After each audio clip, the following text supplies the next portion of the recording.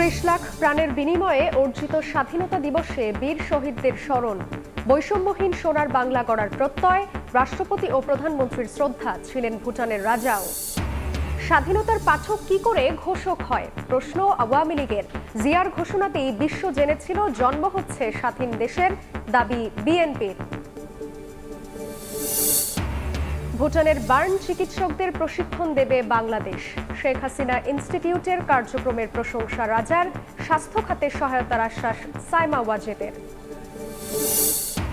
এবার জনতা ব্যাংকের ভল্ট থেকে উধাও প্রায় সোয়া পাঁচ কোটি টাকা। সিরাজগঞ্জের তামাই শাখার ব্যবস্থাপক সহ গ্রেফতার তিন। তদন্ত কমিটি গঠন বাংলাদেশ ব্যাংকের। এবং ঝড়ে তার ছিঁড়ে বিদ্যুতায়িত পুরো ঘর। মৌলভীবাজারে প্রাণ গেল তিন শিশু সহ বাবা মার অল্পের জন্য রক্ষা পেল আরেক সন্তান, শোকস্তব্ধ এলাকাবাসী।